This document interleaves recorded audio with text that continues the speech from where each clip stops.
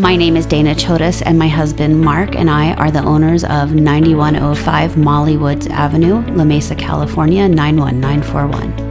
When we first saw this home, we were surprised as we walked into the living room with this beautiful oleander tree out of these huge picture windows. And then we went upstairs and we were super surprised to find a sunroom off of one of the bedrooms. And then we came into the back and we found two extra bedrooms, which was amazing because my family lives on the other side of the country and needed a place to be able to stay when they came and visited.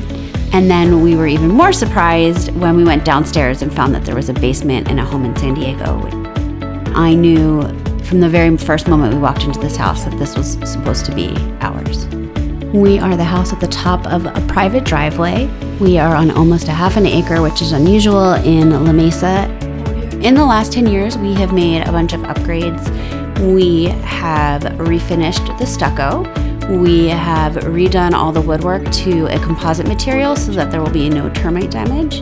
We have put in all new windows, we have upgraded all the bathrooms. We redid the master bathroom recently and included a huge walk in closet with a jet tub and custom finishes.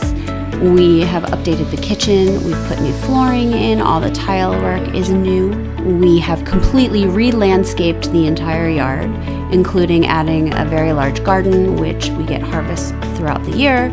We have put several fruit trees in in the front, which we had re-landscaped. We put in a path so our kids can ride their bicycles or their scooters around. We have apple trees and oranges and lemons and limes. We have beautiful maples that turn color in the fall.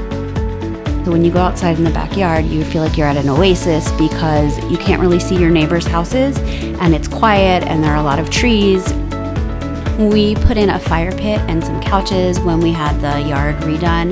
We had a dirt area that we have since put in a huge grass lawn under a pepper tree. Um, it has underground irrigation. We recently redid the pergola as well um, to Alumawood, which makes it low maintenance, and we put in a light and a fan. We have put a lot of time and energy into this home, and we hope you love it as much as we do.